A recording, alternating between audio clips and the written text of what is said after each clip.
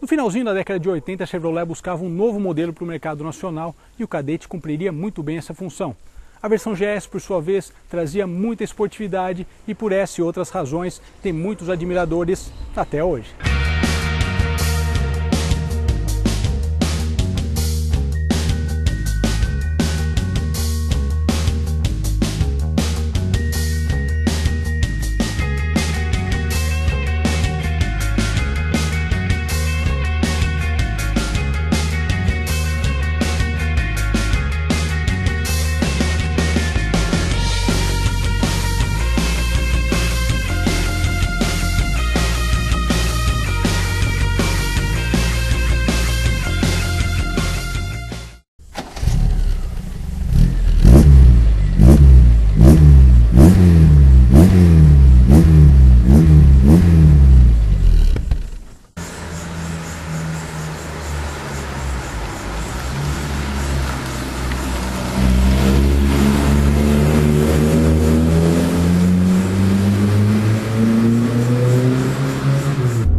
Clássico, né? É um daqueles carros que ah, futuramente deve subir de preço no mercado pela própria importância que ele teve aqui no Brasil no período.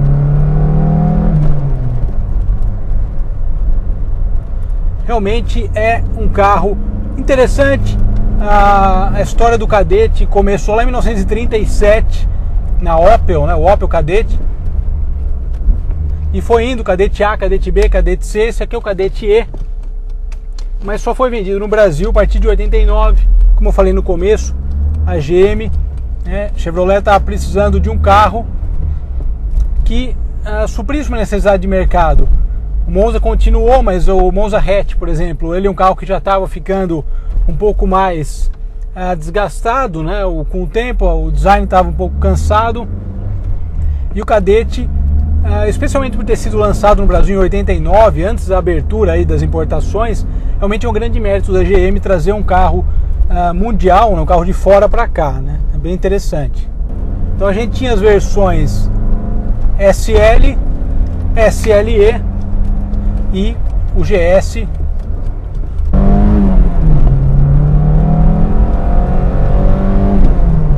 vitalidade e sobra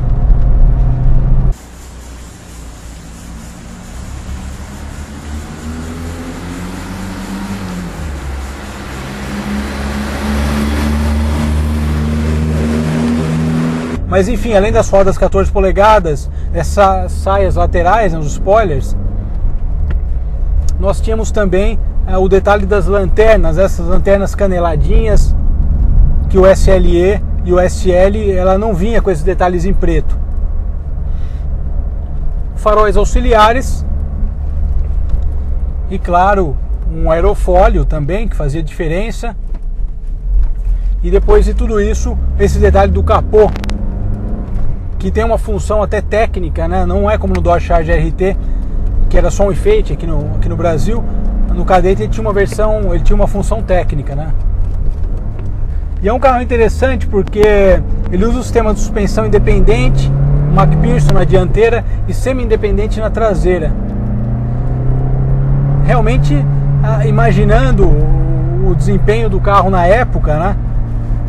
E andando com ele aqui um pouco mais esportivamente, a gente percebe que ele é um carro que tem um pedigree legal, né? Ele meio que te estimula a andar com o pé embaixo. Interior do carro muito interessante, bancos recaro, algo que a gente não vê mais nos esportivos nacionais. Aliás, a gente tem mais esportivo nacional, mas nesse sentido, painel bastante completo para a época. Aí, uh, especial atenção, alavanca de câmbio, cinco marchas, o volante de três raios também e a instrumentação do painel com fundo laranja, né? um vermelho meio, meio alaranjado. Né?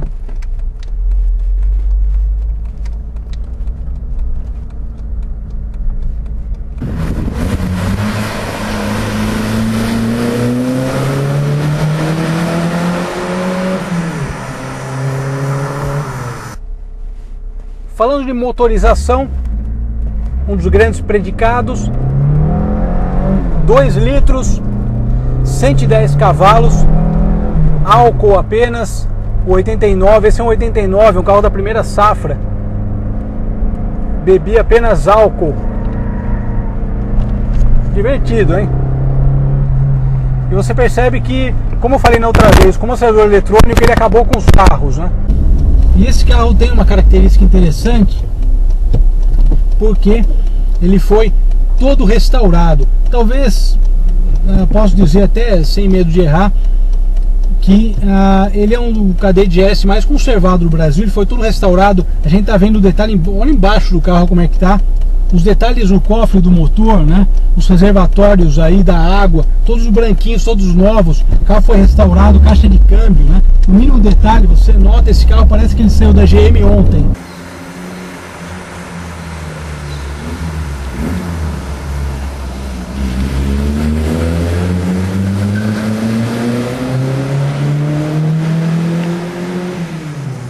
Tinha 10 anos na época, né? E, e foi e é legal você ter a oportunidade de dirigir um carro que ele está no mesmo estado de um carro, ou seja, zeradíssimo. Esse aqui em especial, literalmente zerado, né? Por causa de toda essa restauração. Então é uma oportunidade única, né?